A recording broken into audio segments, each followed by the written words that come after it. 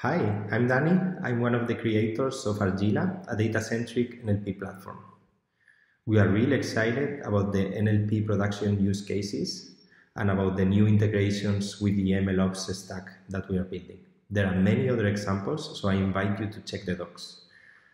In this example, I wanted to show you a simple use case that is about assessing and using pre-trained models on your data labeling and data curation workflows. So in this case, I'm using spaCy NER, name entity recognition, with my own dataset.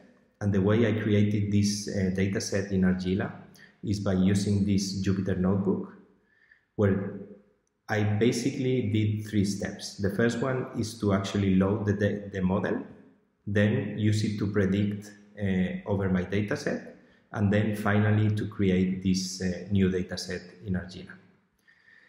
Once I did this, I can actually use the predictions to label my data.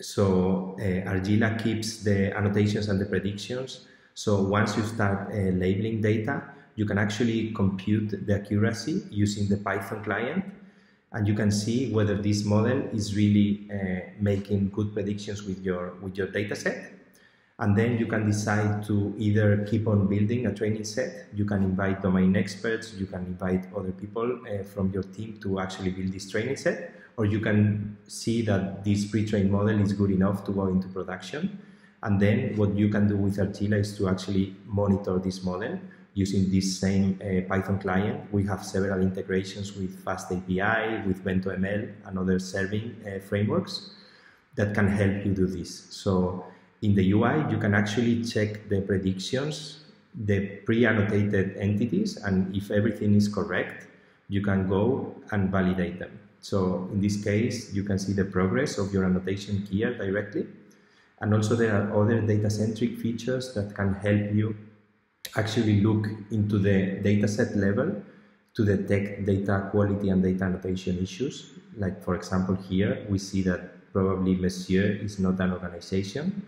And this combined with the search uh, abilities, it's really useful for actually curating and correcting errors. So if I look for this uh, text, I can start to see patterns where this is actually incorrect. And if I want to go to the complete example, you will see that the prediction was organization, but someone, in this case me, already corrected this, uh, this label. We are really excited about the new use cases that we are enabling, and I really invite you to check the documentation. Bye.